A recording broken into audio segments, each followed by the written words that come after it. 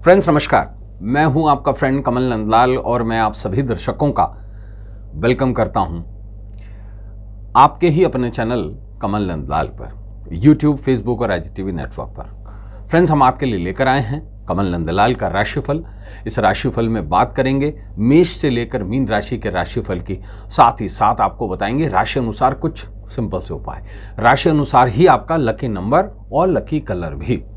पंचांग बताएँगे, दिशाशूल की जानकारी देंगे। बताएँगे आपको किस दिशा में जाएँ और किस दिशा को टाल दें। साथ साथ आपको ये भी बताएँगे कि सभी राशि वाले सफलता पाने के लिए क्या करें और असफलता से बचने के लिए क्या न करें। और राशिफल के आखिर में आपको बताएँगे एक ऐसा स्पेशल उपाय जो आपके जीवन की, आपके लाइफ की किसी खास प्रॉब्लम को बस चुटकियों में दूर कर देगा। तो चलिए शुरुआत करते हैं राशिफल की पंचांग के साथ में। तो दिन है शनिवार का, तारीख है 20 जनवरी 2024 पौष शुक्ल दशमी पर चंद्रमा मेष राशि और कृतिका नक्षत्र में रहेंगे। दिन का लकी नंबर रहेगा टू, लकी कलर रहेगा व्हाइट। लकी डायरेक्शन जो रहेगी वो रहेगी नॉर्थ वेस्ट, यानी कि व्यायव्य। राहु काल रहेगा, सुबह नौ बजकर तिरपन मिनट से लेकर सुबह ग्यारह बजकर तेरह मिनट तक। रवि योग रहेगा। सुबह सात बजकर चौदह मिनट से लेकर के रात में तीन बजकर नौ मिनट तक। दिन का सबसे शुभ मुहूर्त रहेगा। सुबह ग्यारह बजकर तैंतीस मिनट से लेकर के दोपहर में एक बजकर आठ मिनट तक। विशेष क्या है? पौष कार्तिकाई दीपम पर्व है। पौष महीने का कार्तिकाई दीपम पर्व। जिस दिन भी उदया तिथि के अनुसार अगर कृतिका नक्षत्र आ जाए, ऐसे में कार्तिकाई दीपम पर्व मनाया जाता है। कृतिका नक्षत्र भगवान कार्तिकेय को, देवादिदेव महादेव को और अग्नि को समर्पित करता है। छह ताराओं शिखाओं से बना हुआ कृतिका मूलतः अग्नि का नक्षत्र है। ऐसे में हमारा स्पेशल उपाय भी देवादिदेव महादेव से जुड़ा हुआ है। बताएँगे आपको स्पेशल उपाय में कैसे देवादिदेव महादेव की कृपा से दुर्घटनाओं से मुक्ति मिलेगी। ये जो भगवान शंकर का तीसरा नेत्र है ना, यही कृतिका कहा गया है। दुर्घटनाओं से सुरक्षा पाने के लिए आपको क्या करना है, ये जानने के लिए आपको राशिफल को आखिर तक देखना पड़ेगा और आपको ये भी बता दूँ कि जो दिशाशूल रहेगा, वो पूर्व दिशा में रहेगा, इसलिए पूर्व दिशा की यात्रा करने से बचें।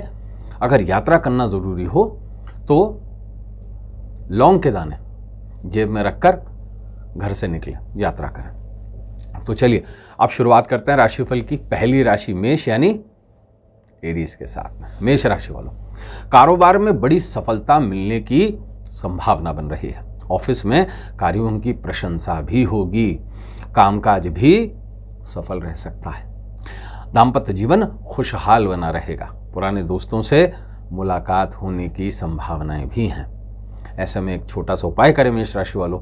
नीले पेन से प्रीम लिखकर पर्स में रखें शुभ अंक दो रहेगा। शुभ रंग रहेगा सफ़ेद। दूसरी राशि वृष, यानी कि टॉरस की बात करेंगे। वृष राशि वालों, महिलाओं को कोई खुशखबरी मिल सकती है। ऑफ़िस में अधूरे कामकाज पूरे करेंगे आप। आर्थिक स्थिति भी बेहतर बनी रह सकती है। कामकाज में परिजन पूरा सहयोग करेंगे आपका। समाज में रुतबा भी बढ़ जाएगा। ऐसे में क्या खास उपाय करें वृक्ष राशि वालों? किसी वृद्ध भिखारी को नारियल दान कीजिए। शुभ अंक आपके लिए आठ रहेगा, शुभ रंग रहेगा काला। तीसरी राशि मिथुन, यानी जमुना की बात करेंगे। मिथुन राशि वालों, करियर में सफलता मिलने के सुंदर योग हैं। खास कामों में विलंब हो सकता है, इस बात का ध्यान रखिएगा। सेहत में भी थोड़ा बहुत उतार चढ़ाव रहने की संभावना है।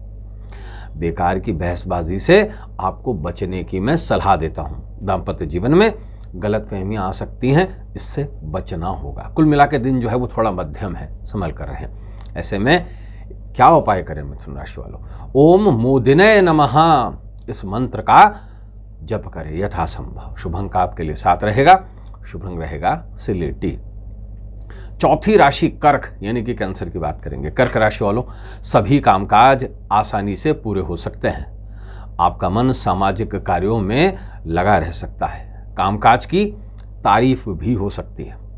अपने भाषा पर और अपने व्यवहार पर आपको थोड़ा सा काबू रखना होगा। वाहन चलाते समय आपको पूरी सतर्कता बरतनी होगी। ऐसे में क्या उपाय करें आप?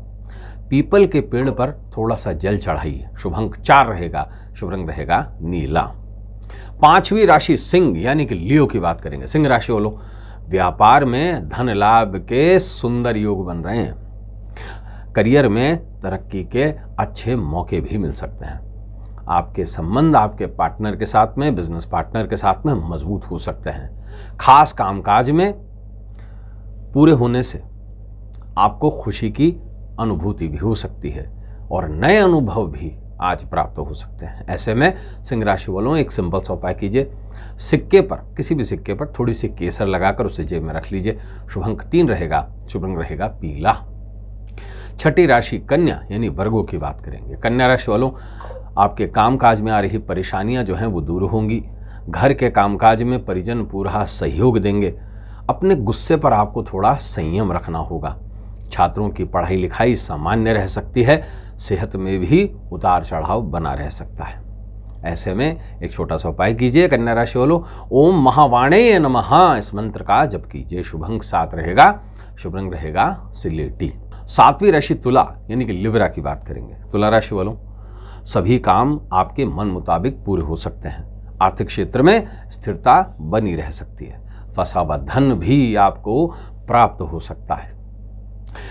छात्रों को बेहतर परिणाम मिलने की संभावना है। दाम्पत्य में मधुरता बनी रह सकती है।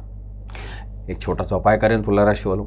गरीब बच्चों को तिल के लड्डू दान कीजिए। शुभ अंक आठ रहेगा, शुभ रंग रहेगा, काला।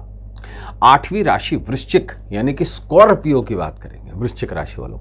ऑफ़िस में कामकाज की तारीफ़ हो सकती है। लोग आपके काम को सराहना देंगे। दोस्तों से आर्थिक सहायता भी ले सकते हैं। कला के क्षेत्र में रुचि बढ़ सकती है आपकी। पारिवारिक संबंध भी बेहतर बने रह सकते हैं। बच्चों के साथ में आप समय भी बिता पाएँगे। पूजा घर में पीपल का पत्ता चढ़ाइए, वृश्चिक राशि वालों। ये उपाय है आपके लिए।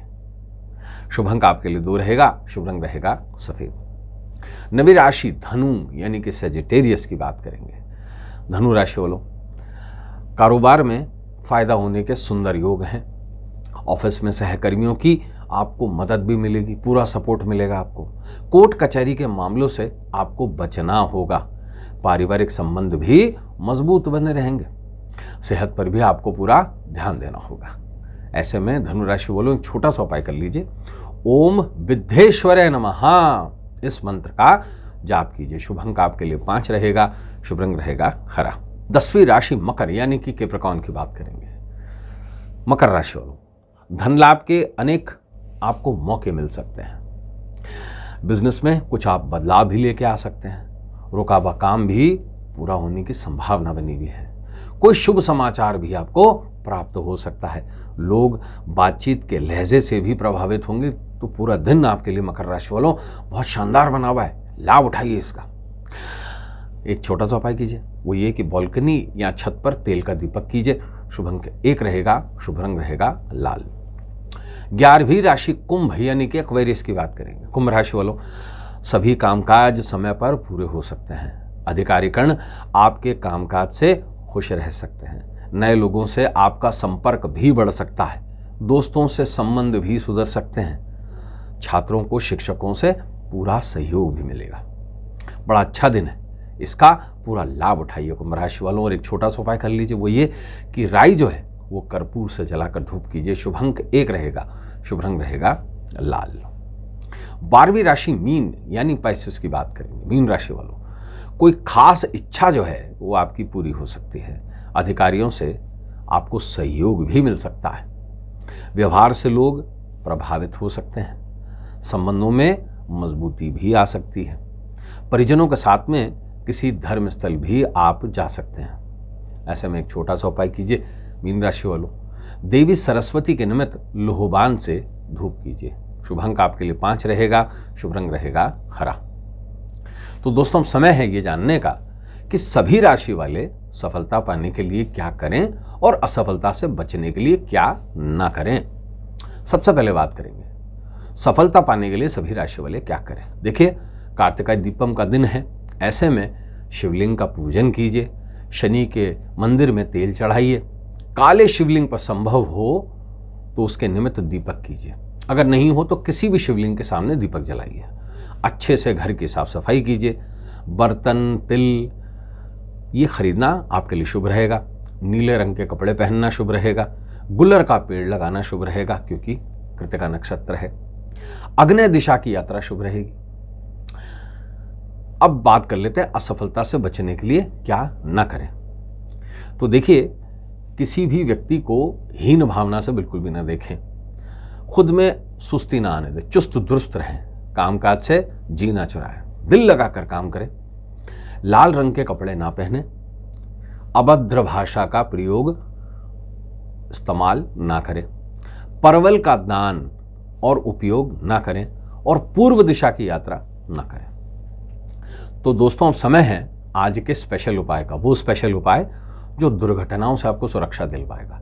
देखिए, खास दिन है। ये वो दिन है जिस दिन कृतिका नक्षत्र आता है। अग्निशिखा नक्षत्र कहा गया इसे। अग्नि का ही नक्षत्र है।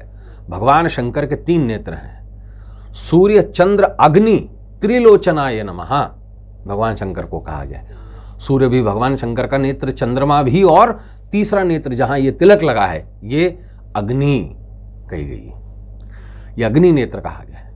तो ऐसे में क्या करें आप? दुर्घटनाओं से सुरक्षा पाने के लिए शिवलिंग का पूजन करें। और शिवलिंग के निमित्त तीन साबुत काली मिर्ची ले लीजिए, किसी भी दीपक में, मिट्टी के दीपक में, और कर्पूर से जलाकर शिवलिंग के सामने धूप कीजिए। और इस पूरे प्रयोग में एक विशेष मंत्र का जाप कीजिए। ओम अग्नि ज्वालाय नमः। ओम अग्नि ज्वालाय नमः। इस मंत्र का जाप कीजिए, आश्वस्त करता हूँ। हर तरीके की दुर्घटना से निश्चित आपको सुरक्षा मिलेगी। तो दोस्तों, आज के लिए बस इतना ही। कल आपसे फिर मुलाकात होगी। इजाज़त दीजिए। नमस्कार। नमः शिवाय।